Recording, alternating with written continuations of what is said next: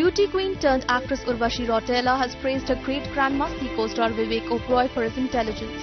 In a recent interview, the actress said she finds Vivek as the most intelligent man in the B-town.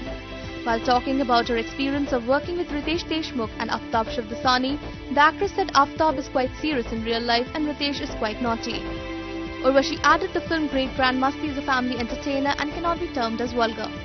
Great Grandmasti is scheduled to hit screens on July 22.